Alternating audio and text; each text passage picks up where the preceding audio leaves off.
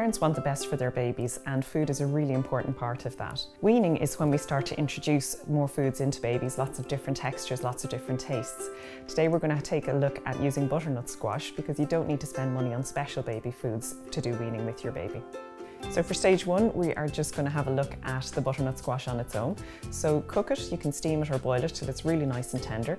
Put some into a bowl and use a hand blender just to smooth it down.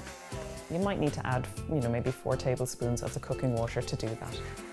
At the end, you want a nice smooth consistency with no lumps, something like a sort of a thin custard. Make sure it's cooled down nicely before you give it to the baby. Then for stage two, we're looking to add a little bit more texture in here, a little more variety with the foods. So we're going to use the butternut squash again, but this time we're just going to mash it instead of using it in the blender. So just mash it up so it still has a good bit of um, texture in it. Then for stage three, we want to build even more texture into what we're doing. So we're going to add in some pasta. And so for this, we're going to use the butternut squash. We're just going to mash it up uh, nice and smooth and then we're going to add in some pasta. You can just cook pasta, cut it up into small pieces and then use a little bit of Parmesan cheese on top.